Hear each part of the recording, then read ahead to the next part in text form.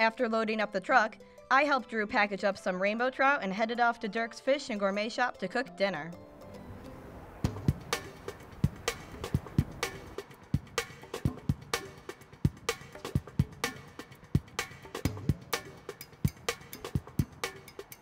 Hi, Terry.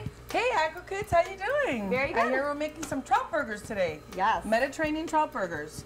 So this is what the trout looks like when you first get it. See, beautiful pieces of trout, beautiful skin. Then we skin it and we hand chop it and look at that pretty fish we formed. and then we grab this delicious fish. We put it into our Mediterranean seasoning. So there's fresh garlic in here, there's lemon zest, there's pepper, there's oregano, salt. We mix it in, and then I'm gonna have you guys form the burgers. I'm gonna do the first one and show you what it looks like. And this is a very delicious dish. It's a great way to introduce anyone who doesn't like fish to fish because there's going to be so many different flavors coming in here that they're not gonna even know they're eating fish. They may even think they're eating, who knows, chicken. Doesn't everybody says it tastes like chicken? This doesn't taste I've like heard. chicken though. So, there's no fishy taste to it. Not not this. This is a very mild fish, and um, for that reason, it really works well with all the seasonings that we're doing. So I'm going to show you how to do the first one. Okay. Okay. Okay. You're going to put it in here, measure it into the third. You're going to pack it in so that you get a nice solid form. Then you're going to do this, and we're going to actually shape it into an oval because what I've actually created is something in the Mediterranean world called kefta. And that's what it looks like. And then you're gonna put them right here. So get to it, kids. Okay. Yum. There's another measure right there. So is that about Right, enough? as long as you pack it in nice and tight. Now flip it onto your hand and then shape it into the oval. there we you go. go. you did it. and then kind of oval shape it, like the length of your hand as opposed to the palm. There you go, that's it. Okay. That's an egg. easier. Yeah. like an egg, exactly. And Now put it next to the ne- another one and keep on going. All right. Awesome. And I think uh, Drew would like a little love to. chance at this. Sure.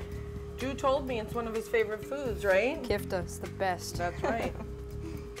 and they're gonna have some good kifta and some good tzatziki and some pickled onions I made. Mm, sounds great. Mm-hmm. How's that? Good job. Thank you.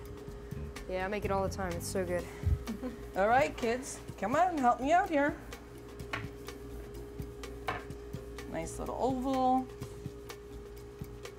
So about how many of these ovals can you make out of one well, fish? this is actually um, two pounds. two pounds. And um, it depends on the size of the fish. So basically, what you want to buy, you're going to lose some of, from the skin, obviously. right. So if you're getting two pounds of fish, you want it skinned. And this will give you probably about 12 to 14 burgers. And you know, usually people eat two at most if it's a main course. Um, and that's, you know, plenty. So there, we did it all.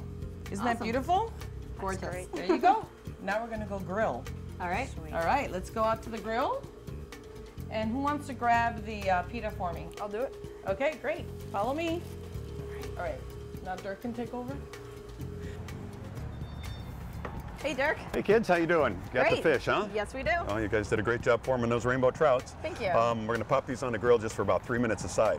And these are uh, sustainable rainbow trout that we get from uh, Rushing Waters, Wisconsin. And I guess you guys are up there today, huh? Yes, we You were. had a good day a for great it? Yeah, it was good.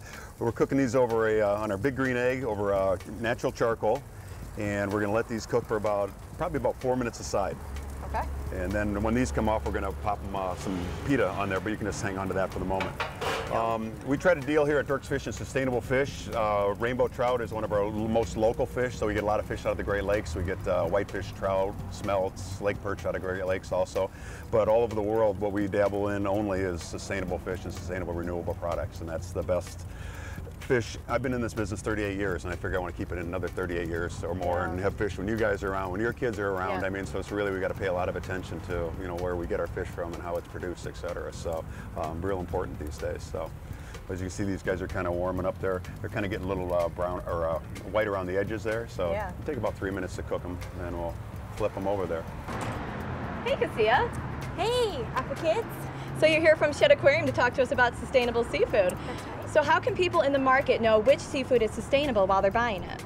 That's a great question. So at Shedd Aquarium, we believe that choosing sustainable seafood, which is seafood caught or farmed in environmentally friendly ways, is one of the easiest and tastiest things that we can do to protect the health of our waters worldwide. And so at the aquarium, we distribute this handy seafood wallet guide.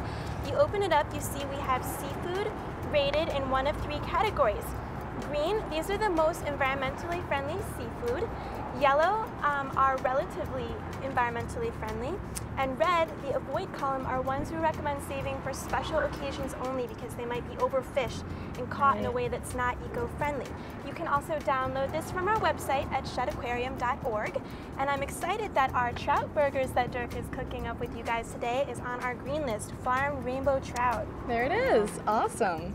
Well, thank you for showing us this guide. It's really helpful to have with you when you go shopping. Sure, thanks. All right, Clark, uh, we're ready to do the pitas here. We're gonna pop them on the grill and just gonna toast them is all you wanna do. And that grill's pretty hot, so it's gonna go about 30 seconds aside. So if we just wanna pop those guys on there and kind of distribute them gently. That's good. Yeah, there's a couple different kinds of pitas. One is a pocket. This is actually a flat one. We're just going to fold it over when we do the fish there. So we just load up the grill with as many as you can get on there, and the rest we'll worry about later. Grill is definitely hot. I told you it was a hot grill. Yeah, this is uh, one of my favorite grills, and uh, we work quick though. It doesn't burn you too much. You know, you don't need those hairs on your forearm anyway. That's perfect. That's perfect. Slide those guys over a little bit now. Um, this is which was the first one you put on. That's always important to remember when you're putting stuff on the grill is to remember which one you put down first, because that way you can give them like 10 seconds. Yeah, 10 Yeah, just seconds. yeah, just give them like 10 seconds, and then start with the first one, and you work your way around. If you're doing shrimp or uh, multiple things, it's always good to remember where you start, and then you kind of work your way back around So like that. nothing And- gets overcooked? Well, Or basically, undercooked? or you know, it's but it's good to remember be a little organized on the grill. A lot of people aren't organized on the grill, and they you know end up burning a lot of stuff. So it's just a little tip that helps me a lot. Well, it looks like everything's ready. I'm ready to give it a try. So here it is, your delicious trout burger, some freshly made pickled onions, and delicious homemade tzatziki. Yum. Here you go, Miss Rachel. Thank you very much. Are you ready, Drew? Yes, I am. I know you are. He wants the big one? He wants the big one. I'm gonna give him the big one right there, and some delicious pickled onions, mm. and some great tzatziki. We'll give you an extra dollar for that because Oh, thank I you. know right up you love alley there. it. How about you, Mr. Clark? I'd love some. Okay, good. Have you ever had this before? no, I'm excited. Have you ever had tzatziki before? No. Good. So, You're gonna have uh, all new things. whole new taste experience for you. There you go. Well, you enjoy, Dig in. sweetheart. Thank you.